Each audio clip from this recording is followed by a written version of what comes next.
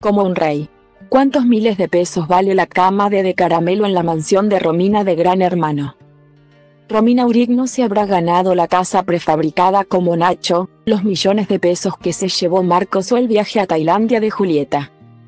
Pero luego de Gran Hermano, Romina se quedó con Caramelo, el perrito que entró con su hermanita Mora y logró adoptar a pesar de la fuerte campaña en su contra. Desde hace semanas que Romy y sus hijas viven con el pequeño cachorro, de quien comparte continuamente fotos y videos sobre cómo crece y se adapta a su nueva vida en la casona de Moreno.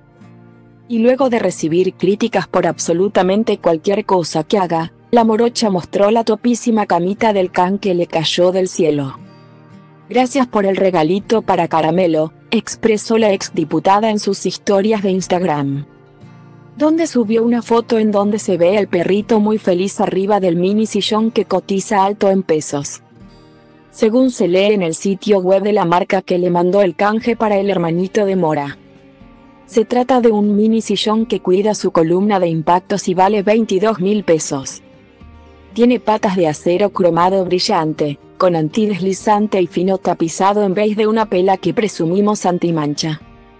Así, Romina volvió a demostrar que el pequeño caramelo es el más mimado de su casa y que la pasa bomba con sus hijas Mía. Felicita a Nina, con quienes en Semana Santa viajó a conocer el mar en una escapada familiar que hicieron a la costa atlántica.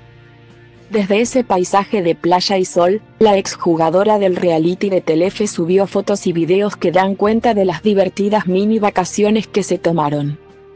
Toda una aventura para el peludito que se sumó entusiasmado a la propuesta de juegos y risas de las nenas y su mamá humana.